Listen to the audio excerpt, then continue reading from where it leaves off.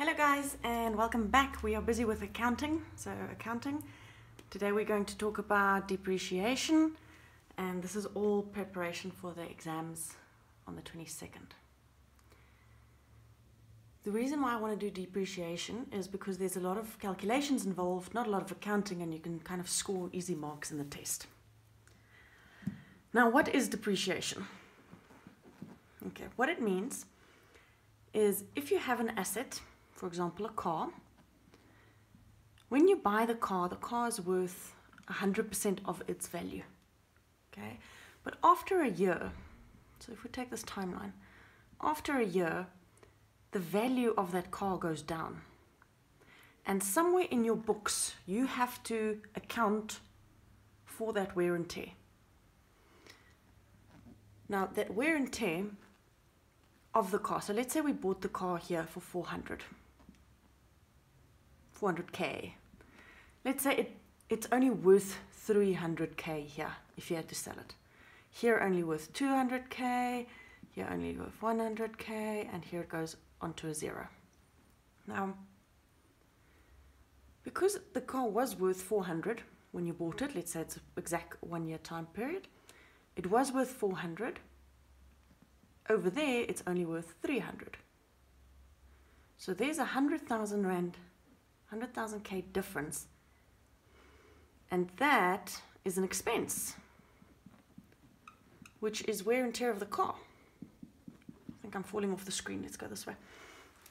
So it, what I'm saying is that the value of the car goes down. So it's almost like um, a glass of water where in year one the car is worth the total amount there at the top 400 but then as time passes the value of the car goes down and as it becomes less and less and less and less and less i mean think of an old skadonk car that car would be over here now, each year in accounting, we write down that expense, that wear and tear expense, as depreciation.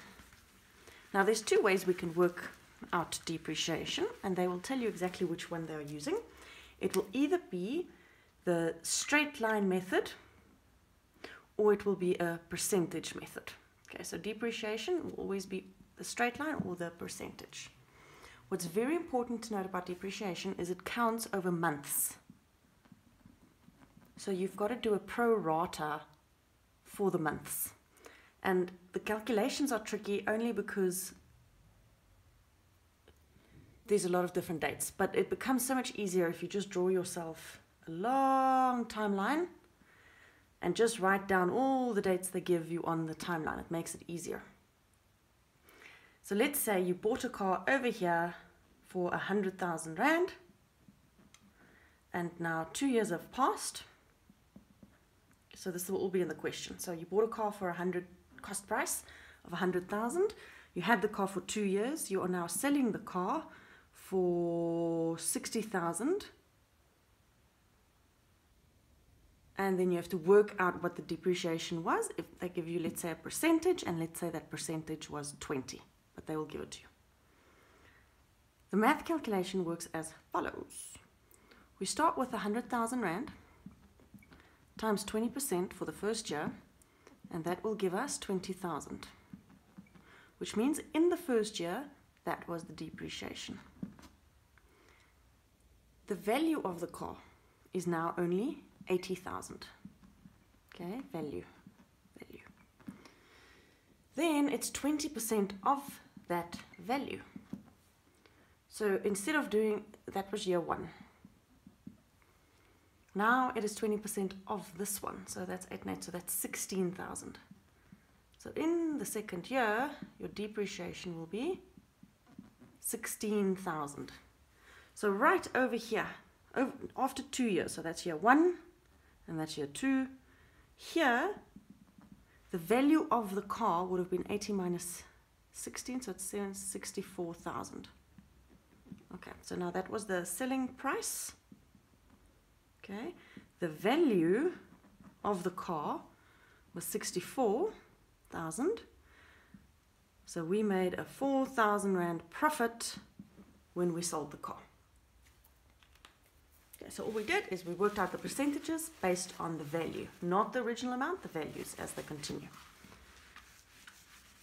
If it happened in the middle of the year, so let's take the same example, and we said the car's cost price was a hundred thousand,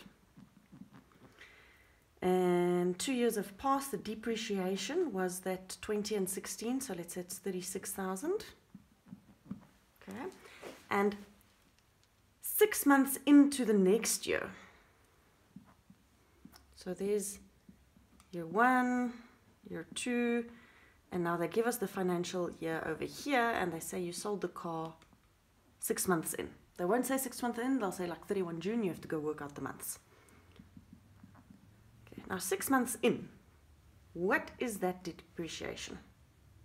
So we're still working on the percentage one, we have to get the value first, then we work it out. So at the beginning of this year, the value of the car was the cost price minus the current depreciation, which will give us 64, I think. Okay, 100 minus 30 is 70, minus 6 is 64. So that's the value. At the beginning of the year. Beginning, beginning, beginning. That's very important. 20% of that is that times 20% equals 12,800. That was for 12 months. Okay, 12 months. We sold it six months in. Six months. So we only want six months depreciation, which is basically you divide it by 12 to get each month and then you times it by the amount of months. Okay, so divided by 12, you'll have the depreciation per month, and then times it again for the amount of months there were. So that's 6,400. Now the value when you sold the car over here would be the 100,000 minus 36, which gives us 64, minus the depreciation that happened for the first six months until you sold the car. Okay, so it goes into 50 something, 59 or whatever. So that's depreciation with the percentage.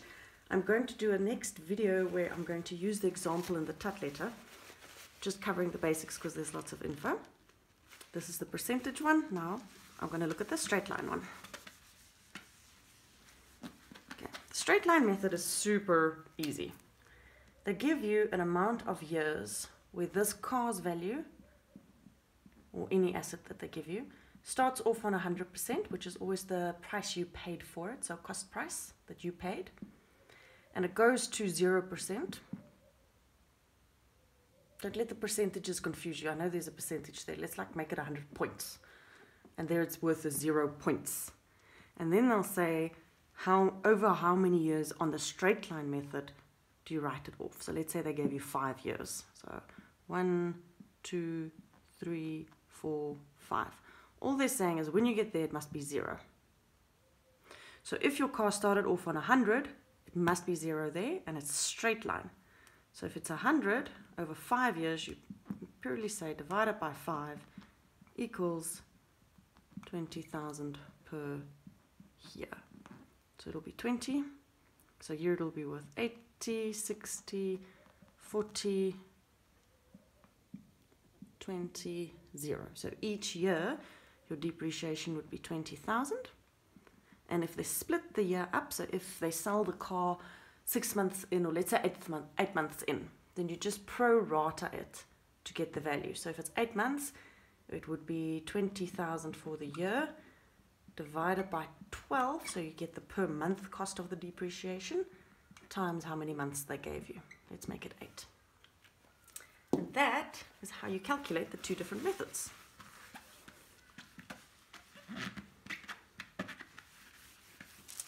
Okay. This is, you need to know the different steps in how to calculate it so that eventually we can do the general ledger. Now, to work with the general ledger is a whole other ballgame, and I'm going to talk to you about that soon. But in short, if you can work out all these different calculations, the general ledger becomes extremely easy. So first focus on working out depreciation before you go into where to put what. Just keep in mind that when you buy a car, so there's your vehicle account, when you buy a car, that amount will always be the cost price. The cost price. Then you have the expense, that is yearly, and that is the depreciation. And then over here, if you sell a car, there will be a realization account. Realization. And here you might make a profit or loss, depending on the value of the car.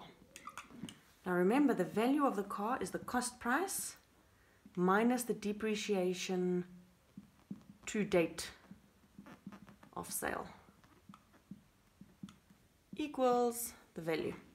So if you have the cost price, you work out the depreciation to date of sale, and that gives you the value of the car. And each individual thing we're going to put into the general ledger. Okay, I hope you understand the calculation of depreciation. Um, I'm going to do an example, but first we're going to have to talk about general ledger. Okay, I hope you're following the videos. It takes a while to get through everything, but there's so much time before the exam that I'm trying to explain everything thoroughly so that when the exam comes, it's easy. Okay, have fun. Cheers.